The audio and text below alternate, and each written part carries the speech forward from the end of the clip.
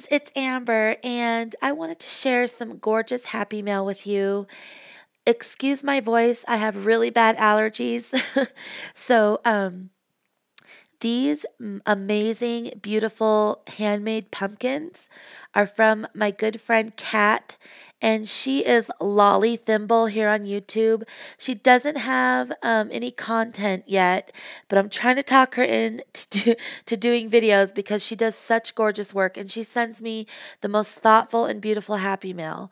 So these beautiful handmade, um, gorgeously embellished pumpkins she made from like vintage pieces and the the part where she um, designed the pumpkin is from sweaters you guys. She is so creative.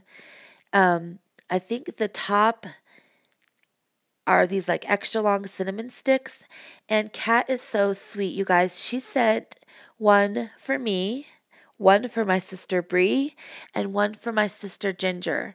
Isn't that the sweetest thing you've ever heard? Um, these are the most gorgeous pumpkins, and I just adore it. And I got to pick mine first, of course, and I picked that burgundy one in the middle. My sister's favorite color, ginger, is green, and then Brie, I gave the purple one to because she loves purple.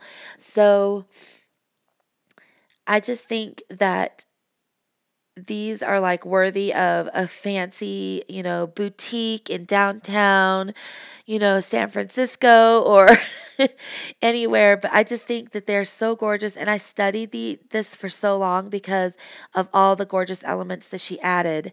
So, Cat, if you're watching, I just want to thank you so much for these creative, most beautiful pieces of art. And I have mine displayed on my vintage roll top desk. And I'm going to show you guys some photos here that I took. And I just want to thank you so much for watching. And I want to thank Cat so much for her thoughtful, happy meal.